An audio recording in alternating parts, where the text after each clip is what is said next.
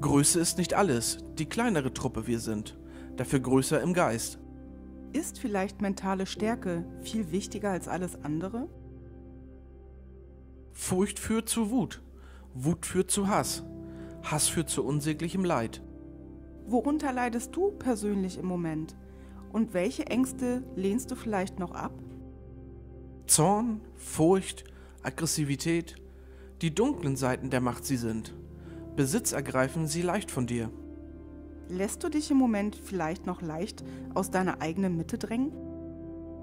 Tue es oder tue es nicht. Es gibt kein Versuchen. Verschreibst du dich bereits den Dingen, die du umsetzen möchtest, voll und ganz? Vorsicht du walten lassen musst, wenn in die Zukunft du blickst.